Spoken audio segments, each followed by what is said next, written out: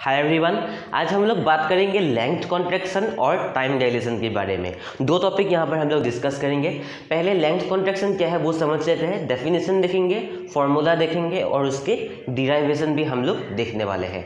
देखिए, जब हम लोग बहुत ही फास्ट मूव करते हैं, यानी कि बहुत ही हाई स्पीड से मूव करते हैं, तब क्या होता है कि जो लेंथ है ओरिजिनल लेंथ है, वो कॉन्ट्रैक्ट हो जाते हैं, यानी कि छोटा हो जाते हैं। जैसे कि मान लीजिए, मैं अगर कहूँ यहाँ पर एक फ्रेम है मान लीजिए ये एक फ्रेम है एस फ्रेम यहाँ पर फ्रेम की बात हमेशा आती है.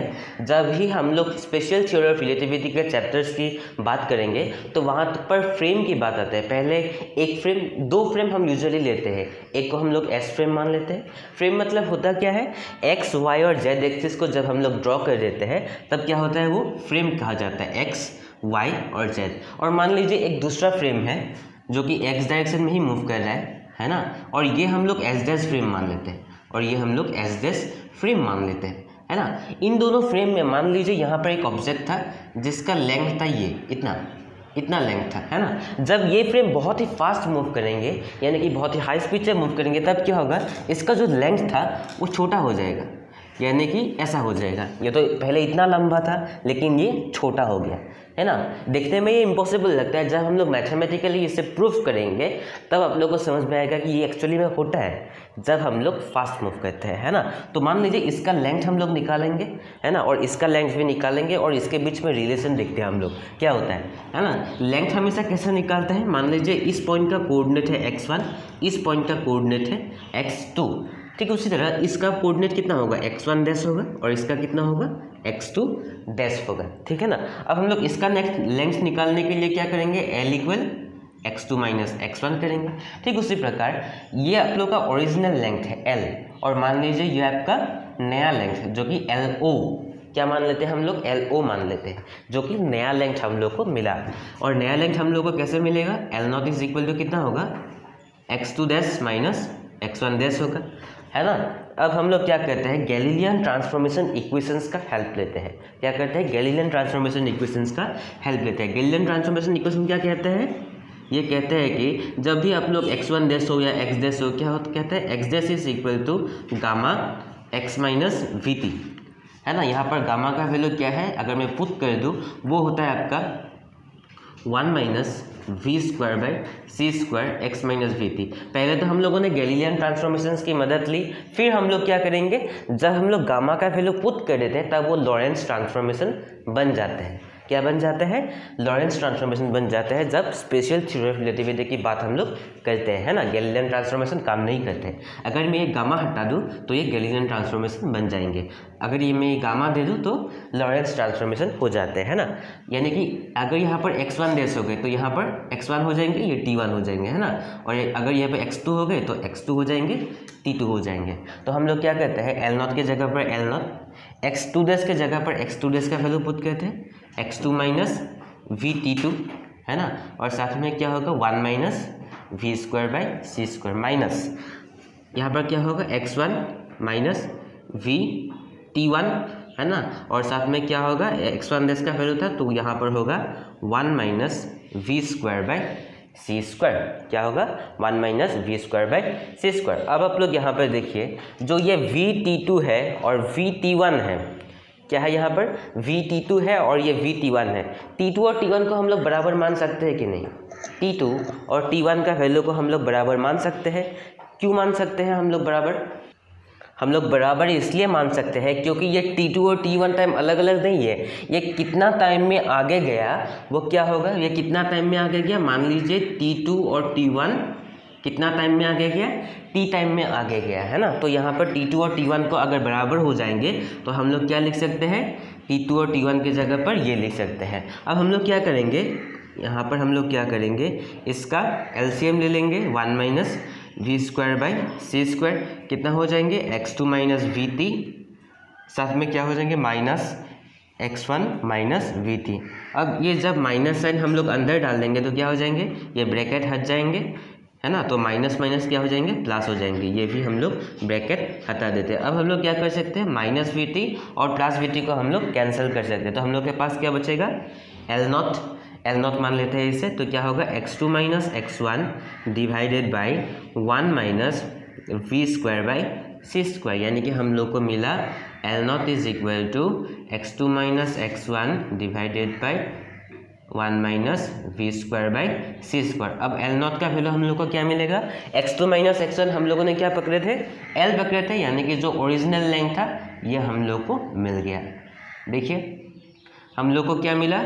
जो ओरिजिनल लेंथ है, वो ये क्या? नया लेंथ के बराबर और साथ में ये मल्टीप्लाई हो रखेगा, है ना?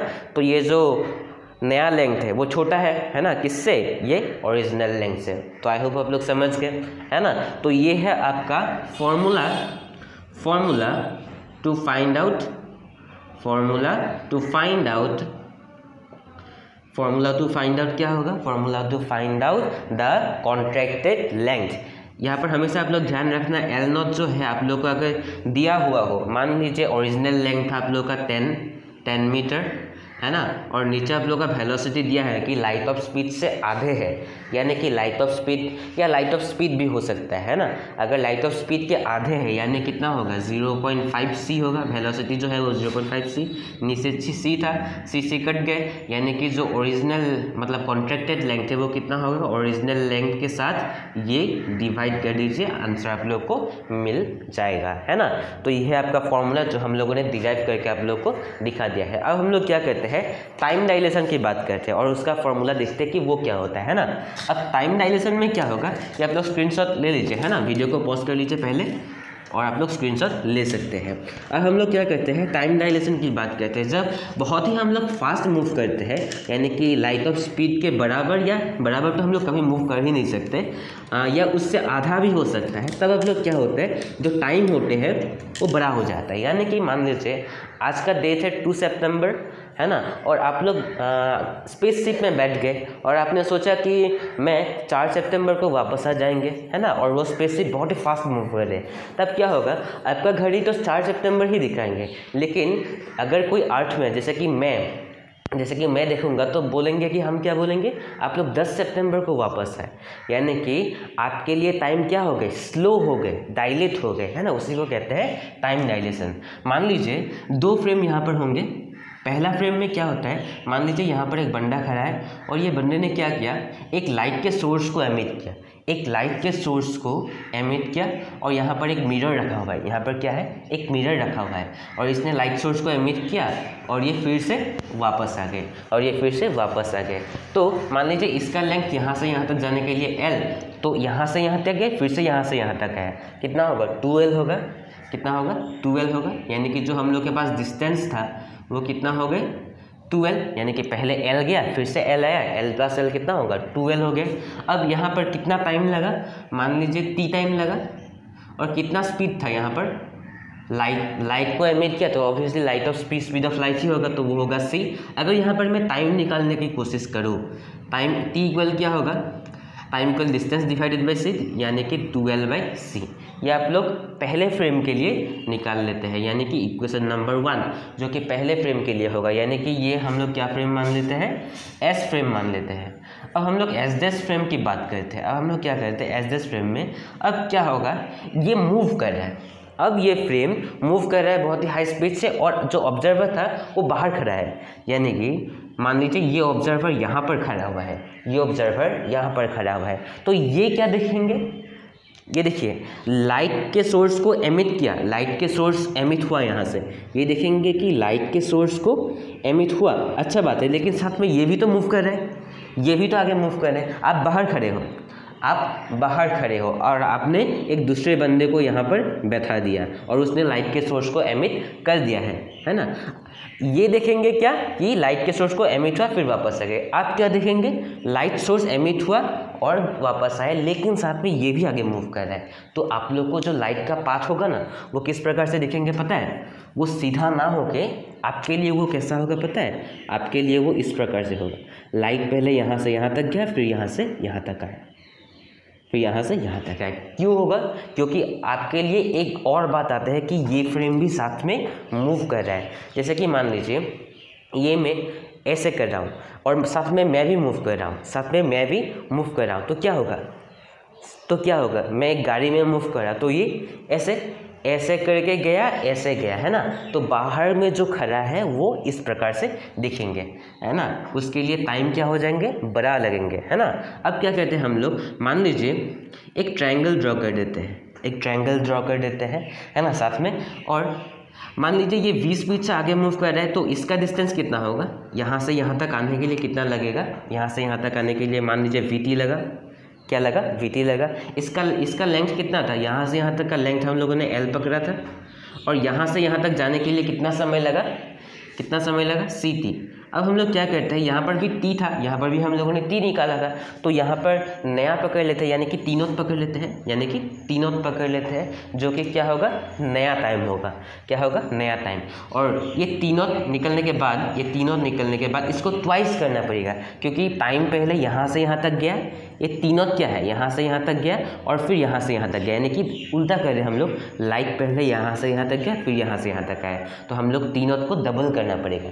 जो भी मिला उसको डबल करेंगे हम लोग, है ना? तो पहले तीनों को निकाल लेते हैं। किस थ्योरम से निकालेंगे? पाइथागोरस थ्योरम से निकालेंगे। इस ट्रायंगल में हाइपोटेनस का स्क्वायर होगा, यानी कि सी टी नोट का स्क्वायर होगा। वो क्या होगा? सॉरी सी टी नोट का स्क्वायर कितना होगा? परपेंडिकुलर स्क्वायर बेस स्क्वायर है ना? वी स्क्वायर टी हो जाएगा V square T naught square is equal to कितना होगा? L square plus V square naught square यहाँ से हम लोग को निकालना क्या है? नॉट को निकालना है, यानी कि टी ज़ीरो को निकालना है। तो इस टी ज़ीरो को इधर लाइए। C square naught square minus V square naught square is equal to L square अब नॉट स्क्वायर को बाहर ले लीजिए, यानी कि कॉमन ले लीजिए। अंदर क्या बचेगा? C square minus V square is equal to L square इसको वहाँ फेंक दीजिए तो क्या हो जाएगा? Naught square is equal to L square by कितना होगा? C square minus V square मैं इधर कर रहा हूँ, है ना? इधर कर रहा हूँ तो नॉट स्क्वायर जो नॉट स्क्वायर होगा, वो कितना होगा? एल स्क्वायर होगा। साथ में यहाँ से सी स्क्वायर को आप लोग कॉमन ले लीजिए। सी स्क्वायर को कॉमन ले लीजिए। अंदर क्या बचेगा? One by one minus V square by C square क्योंकि जब ये आप लोग यहाँ पर मल्टीप्लाई कर देंगे तो ये आंसर यही मिलेंगे आप लोग को, है ना? अब स्क्वायर को उधर फेंक देंगे तो क्या हो जाएगा? Root over L square divided by root over C square one minus V square by C square यहाँ से हम लोग को क्या मिलेगा? L by C root over one minus V square by C square, है ना? मिल गया आप लोगों को। अब यहाँ पर देखिए, मैंने क्या बोला था? यहाँ से यहाँ तक जाने के लिए तीनों टाइम लगा, लेकिन यहाँ से यहाँ तक कितना लगेगा? यहाँ से यहाँ तक भी तो तीनों ही लगेगा सेम लगेगा। तो जो हम लोग का फाइनल आंसर होगा जो हम लोग का फाइनल आंसर जो कि है, क्या है? डी टी ले लेते dilated time dilated time is equal to कितना होगा? ट्वाइस ऑफ़ तीनों यानी कि जो यहाँ पर मिला, उसका डबल होगा, या तीनों प्लस तीनों भी लिख सकते हो आप लोग। तो डाइलेटेड टाइम का वैल्यू हम लोग को क्या मिल गया? टू एल बाई सी आप लोग को दिखाई पड़ रहा है? पड़ रहा है ना? One minus V square by C square है ना? ये हम लोग को मिल गया। देखिए क्या मिला। मैं यहाँ पर लिख रहा हूँ T D is equal to two L by C one minus V square by C square यहाँ पर टू एल बाई सी क्या है? T two L by C क्या है? जो ओरिजिनल टाइम था हम लोग का, यानी कि T D is equal to T by root over one minus V square by C यानी कि ट्वेल्व बाई सी की जगह पर मैंने टी कर दिया है। अब अब यहाँ पर देखिए ये टी डी क्या है? ये ऑब्जर्वर है जो कि अर्थ में खड़ा हुआ है। और ये टी क्या है? एक उस ऑब्जर्वर के लिए है जो स्पेसशिप में आगे मूव कर रहा है। जो किसी भी ऑब्जेक्ट में मूव कर रहा है बहुत ही हाई स्पीड से, है ना? तो एक एग्जांपल दे, दूँ मैं आप लोगों को, जैसे कि मान लीजिए, यहाँ पर क्या हुआ कि आपने, आपके दोस्त को एक्सप्रेस में बैठा के भेज दिया, है ना? और उसको कहा कि आप दस साल के बाद वापस आइए। अब दस साल के बाद वापस आए तो आपके लिए टाइम कितना होगा पता है? यहाँ पर क्या होगा? उसके लिए टाइम कितना होगा? ये टी क्या है? जो कि स्पेसशिप में बैठा हुआ है, उसको लगेगा कि हम टेन हाँ हम दस साल के बाद ही वापस आए, लेकिन आपको क्या लगेगा? और वो कितना स्पीड से मूव कर रहे हैं? और वो आधे स्पीड से मूव कर रहा है लाइट के आधे स्पीड से। लाइट के आधे स्पीड से तो कितना होगा? Zero point five C divided by C और ये C square C square cancel हो जाएँगे तो बचेगा क्या? टी डी इज़ इक्वल जब आप लोग करेंगे तो आप लोग को मिलेगा eleven point six four something ऐसा मिलेगा। यानी कि आपको मिला कि आप बोलेंगे कि मैंने तो आपको बोला था दस साल के बाद वापस आना और आपने कि, और वो कितने साल बाद वापस आए? इलेवन पॉइंट सिक्स फोर साल बाद वापस आए। यानी कि उसके लिए टाइम डायलेटेड हो गए। है ना? तो कितना टाइम अगर दस साल है तो इलेवन पॉइंट सिक्स फोर हो जाएँगे। तो ऐसे आप लोग कोई भी क्वेश्चन अगर आए तो आप लोग सॉल्व कर सकते हो, है ना? तो ये रहा आपका टाइम टीरी यानी कि टाइम डायलेशन का फॉर्मूला आप लोग कह सकते हो, है ना? तो कोई भी डाउट हो तो कमेंट सेक्शन में आप लोग मुझे बता सकते हो। मिलते हैं अगले वीडियो में, तब तक के लिए जय हिंद।